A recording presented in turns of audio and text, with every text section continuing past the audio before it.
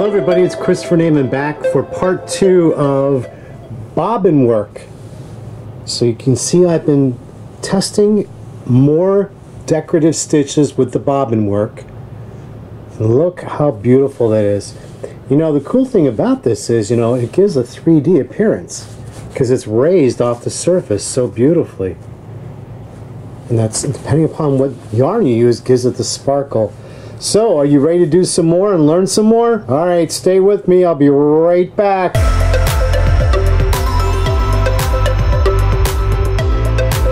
All right, welcome back, everybody. First of all, I switched machines. I'm going to do this second part on uh, my Janome. I just had a major cleanup on my Janome. I did some new detailing. I went to clean this Janome with alcohol, like I clean all my machines on the surface and the alcohol wiped away all the print. So the name Janome's gone and the MemoryCraft 9000 is gone. And I thought, wow, that they really didn't have very good printing back then because all my other brand machines, when I go to wipe, nothing ever comes off that's that's printed on there. So, but oh, I think it I think it turned out good. I gave it a nice little facelift. You know, see, I put some decal on there. I think it look come out nice. Looks brand new looks really, really brand new. Okay, let's move on. Okay, so in my last video, I talked about how Brother had very wide uh, decorative stitches. They didn't have like the real intense satin stitches like, like Janome does. So the machine that I have right now is very limited on its decorative stitches, but we do have, this was a stitch I just stitched out right here. And so we're going to go through this and see what kind of stitch I can choose to do some um, testing for the bobbin work here. But the, the, these in blue here and this in uh, this lavender color were, were done on my brother PC6000. So you can see how the open, more open wide stitch is so much better for bobbin work. You see that? All right, let me see what we can find. Okay, so let's see what I can do. I want to find a Greek key to do, so I'm going to go here, and I need to go to stitch number 131.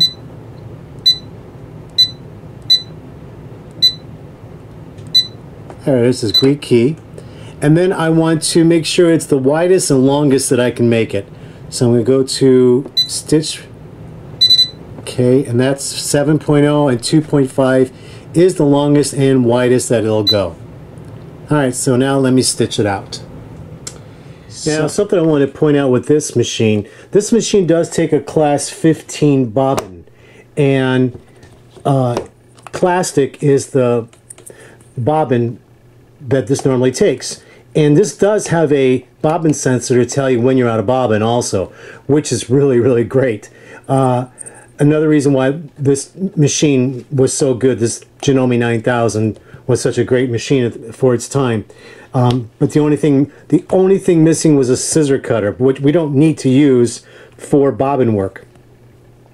But what I'm doing is um, I'm using a, a metal bobbin, and we're going to be using the Christmas color red here. It's a Christmas color red thread. So why don't I try it on this black fabric? Now one thing you want to make sure is when you're doing bobbin work that you've got some stable fabric. If for any reason you're only sewing on one layer and it's not stable enough, starch it to make it a little stiffer for yourself, okay? Alright, so now because I can't reach the foot pedal uh, I'm behind my camera, I'm going to use my automatic start and stop button right here. I call this the handicap start and stop button uh, without a foot pedal because this, these machines that have the start and stop button are great for people in wheelchairs that can't use their legs. So the start and stop button is great. And then there's the speed control that you can control. So I'm going to just work my speed control as if it's my foot pedal.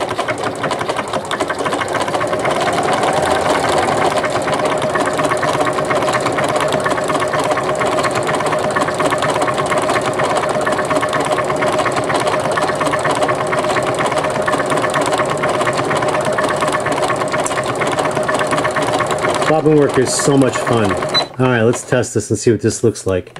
So I'm going to pull it to the side. If I, now normally if I was going to be using this for something special for real, I would make it long enough thread to pull to the back, but I don't need to, not for this demo. Okay, so there's a Greek key with the top stitching.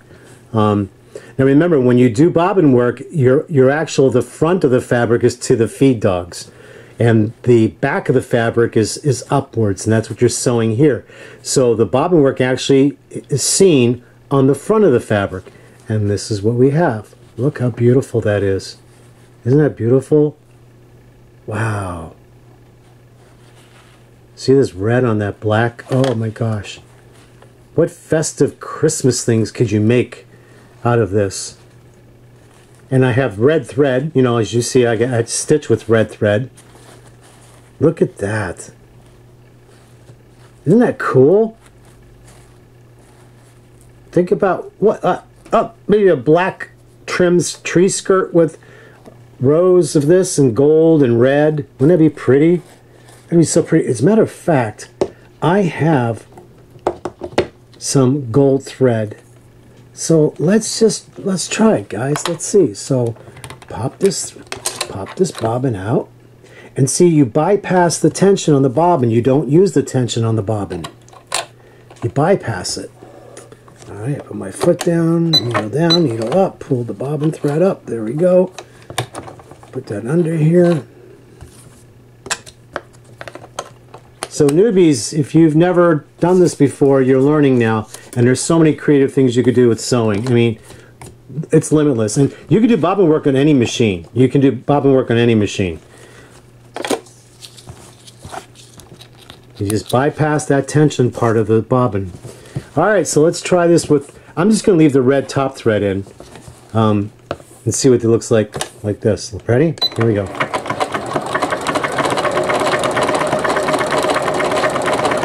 Oh, notice when I started stitching, I made sure that there was thread pulled out to the back. It's very important. Make sure your thread is pulled out to the back so it doesn't get tangled under there.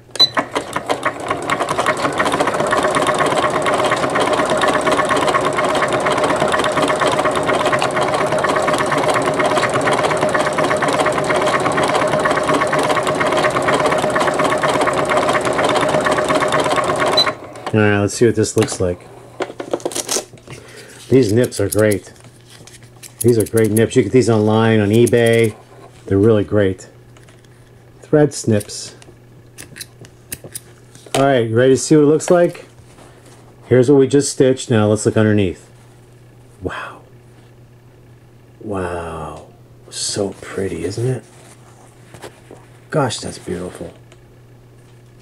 That is so so beautiful. And if I use clear thread for the top on this, or matching gold thread on top, gold sewing thread, mm, with this, look at this sh shimmer metallic type black printed fabric here, cotton fabric.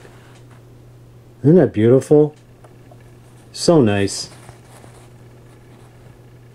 There's a little angle shot of that. So all kinds of different stitches you can use. So let's try another stitch on this machine.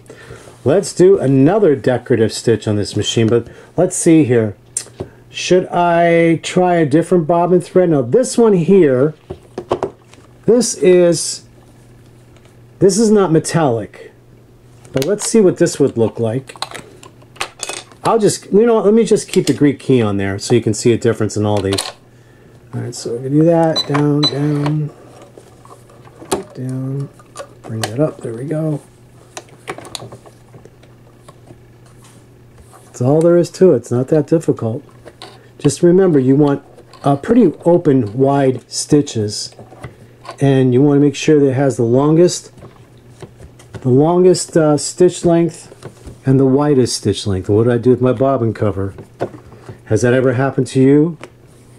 Has that ever happened to you where you lose your bobbin cover? There we go. If you're like me, you got two of everything. I got backups of everything. I do. I got backups of everything. All right. All right, so let's see what this, uh, I want to see what this thread looks like. Here we go.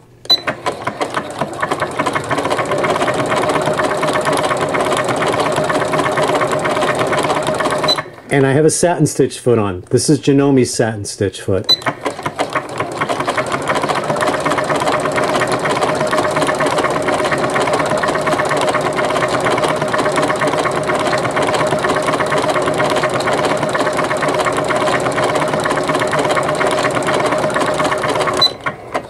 Alright, let's see what this looks like.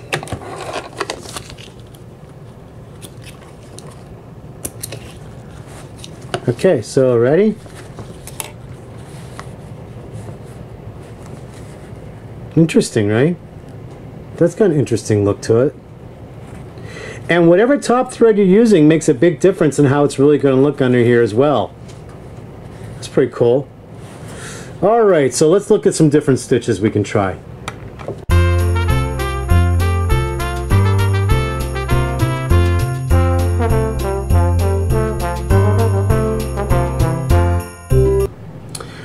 So let's just look at basic utilitarian stitches because most machines have those basic stitches. So let's let's scroll and see what the utilitarian stitches are we can use. There's your feather stitch I did earlier. This is a nice decorative stitch.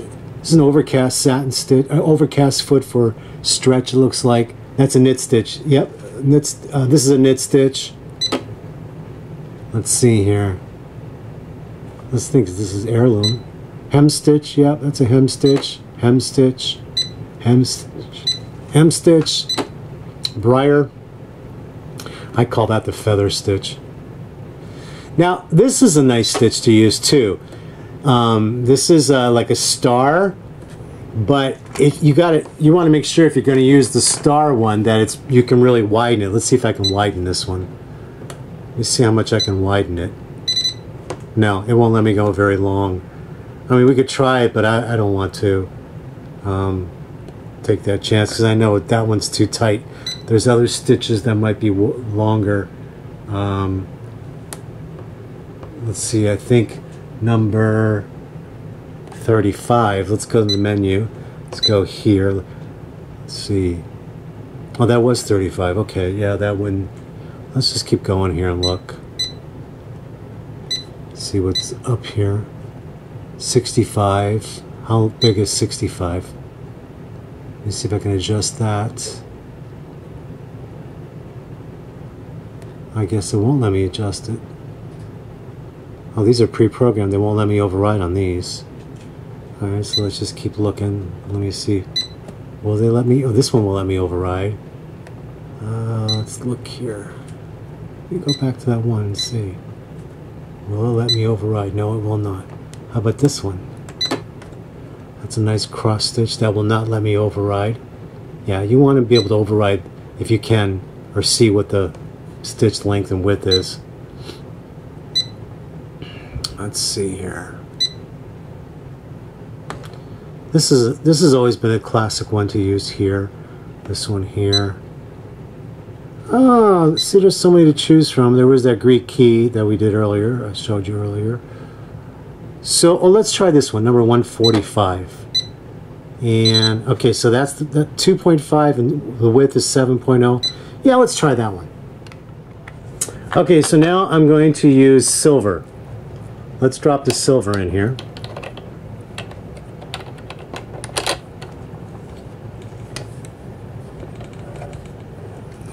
Now, like I said, whatever you use for top stitch thread is going to take on a whole different look.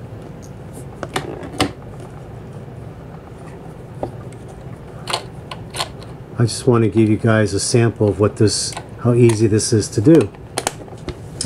Alright, let's turn it back over and let's start another row here. Let's start a new row down here. Alright, here we go.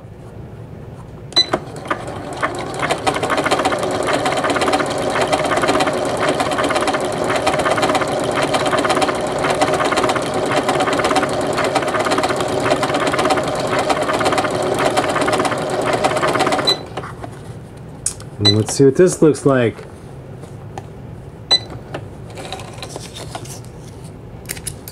You ready? Oh, that's pretty. That's pretty. Isn't that nice? All right, so newbies, are you thinking of new things you can make with this? Are you coming up with ideas?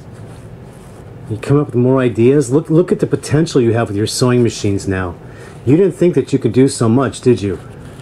The creativity is limitless, people. It really is. See, that's what I'm saying. Once you know your sewing machine and you know all these little tricks and different things you can do, you can make anything. I mean, you can make, oh my gosh, so much, so much. And uh, yeah, so it's just unbelievable. Then here was, again, let's look at the stitches here from the Brother machine. There's a basic stitch there. Uh, these here, we did that, showed that in another video. There's just so much. This is a railroad stitch. Let's try the railroad stitch on this machine. Uh, I call it railroad because it looks like railroad tracks. Let me find the railroad stitch on this machine. Uh, da, da, da, Let me see where the railroad stitch is. Here we go. Sorry. Alright. They call it a ladder stitch. I call it a railroad stitch because it looks like a railroad. Alright, let's do it.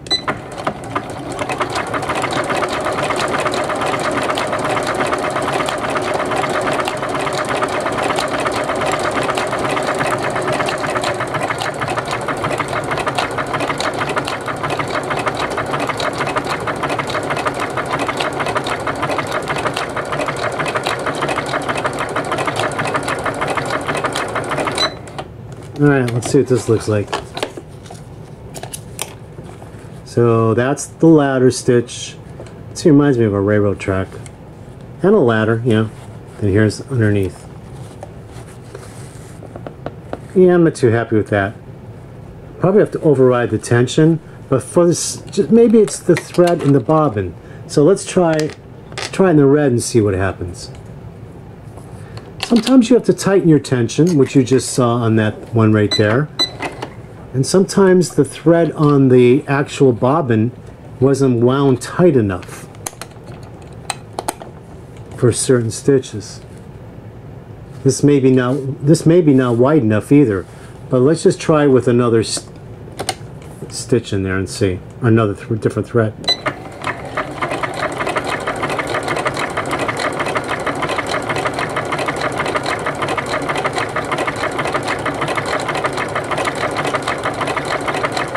Okay, now I'm going to increase the tension. So I'm going to go to my tension setting and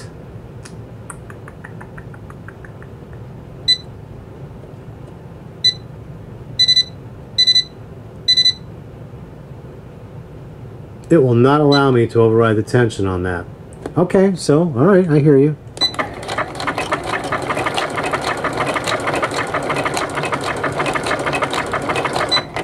Alright, let's see what it looks like. I want to make sure I don't have to... Let me just make sure. Auto tension.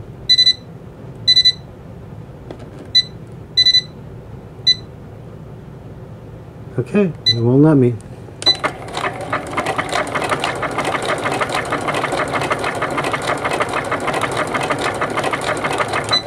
Alright, let's see. Let's see what this one does. Yeah, it might be too close to get. It might be too much and too close together. Yeah, it's too close together. See how mushy that looks? Don't like that one.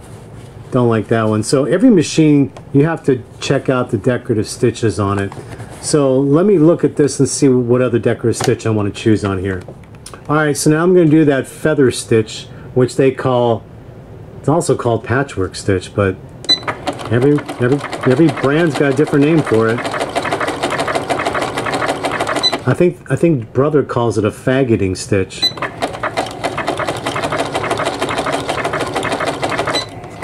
And I want to see if I can override the tension on that.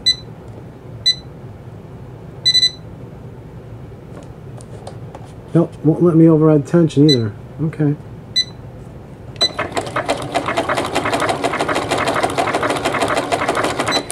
Alright, let's see. Let's see what this one looks like. Oh, much nicer. Isn't that nice? That's really pretty. That's really pretty. That's like the brother one I did earlier in my last video. And this is the Janome version. All right, guys, this is part two. Showed you a little more, see how much fun it is.